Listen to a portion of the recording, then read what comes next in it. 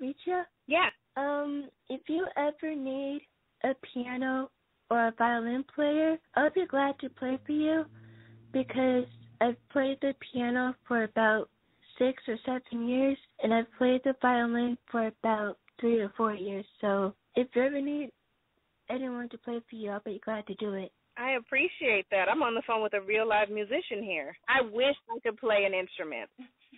How old are you, sweetheart? 14. 14. Oh, my God. Demetria, you are impressing people at 14. What? Oh my gosh. Girl, are you feeling what I'm feeling right? Like I just got chills that went through me.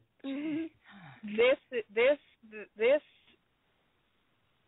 Yeah, exactly. This. That's all you can thank say. you.